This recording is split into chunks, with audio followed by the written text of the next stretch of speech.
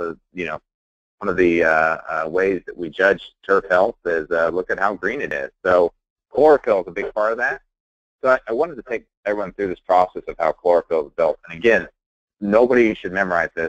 I don't memorize this. I just put it down on a PowerPoint slide to prove that I'm not making it up. But glutamic acid is actually the starting material for chlorophyll. Um, that is, this is where your carbon comes from in your chlorophyll pigment. As you've noticed here, you need iron and you need magnesium to be able to make chlorophyll. But iron is not actually a part of the chlorophyll pigment itself. Magnesium is, but iron is not. So what happens is you need iron, you need magnesium, but you need glutamic acid, and eventually you make chlorophyll. Okay? If you don't have glutamic acid, you can't make chlorophyll. You can dump as much iron as you want, you can dump as much nitrogen as you want, but again, you're not going to be able to make chlorophyll without glutamic acid, which is powerful. So when we're going through our trials in the beginning and we're learning, we're doing these replicated studies, and we're seeing a better green, I mean, it, it jumps out at you, a deeper green, just by using glutamic acid. And you say to yourself, why is that? This is why. So why don't you jump back in, Curt, and uh, and and get Keith on the line here to talk about what the amino acids have done, you know, for him and his color down his course.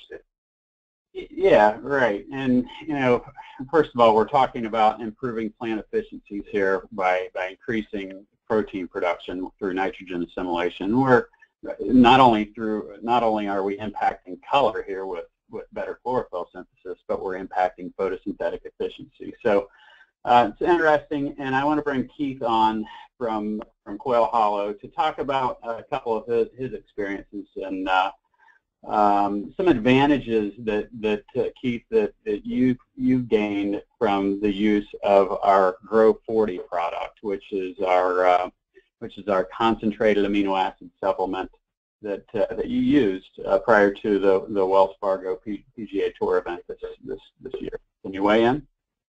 Yeah, sure. Uh, hello, everybody. And uh, we've been very impressed with the, the amino acids in our program and the fact that I feel like that we don't have to put out as much nitrogen to get the color response.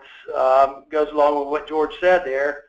And uh, I feel like we have a much healthier plant, uh, better capable of handling stress of tournaments where we turn off the water and we expect to keep the color. Uh, we, we saw that firsthand this past year on our ryegrass. Um, even more so uh, impressed that the Bermuda grass base uh, that we're actually playing golf of during the Wells Fargo Championship. You know, the ryegrass just provides the color, but the uh, uh, the Bermuda grass base underneath uh, actually was in very, very good health, uh, where we saw divots starting to recover through uh, from rhizome and stolon growth, um, and where we were able to stop putting out sand and seed to fill divots uh, before the tournament.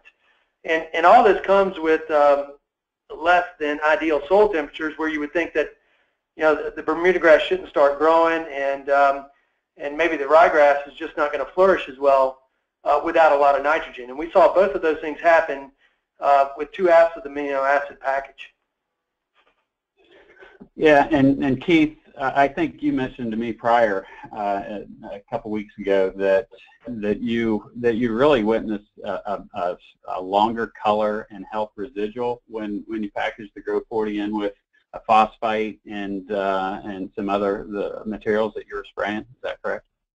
Absolutely. Um, love uh, mixing the, the, amino acids with um, with a phosphite. Um, uh, everything I've read about phosphites, you know, is improved um, movement throughout the plant, and you know, just it seems logical to me to mix an amino acid uh, and the Grow 40 in there with it, and just have it get everywhere it needs to get in the plant. Um, and even more so after uh, hearing George speak at, at another class one time that um, you know the, the amino acids may help uh, things move around in the plant. So anything that, in, in my mind, anything I can mix with an amino acid where I want it to move throughout the plant in different locations, uh, I try to use the Grow, GrowPlex 40 in that situation.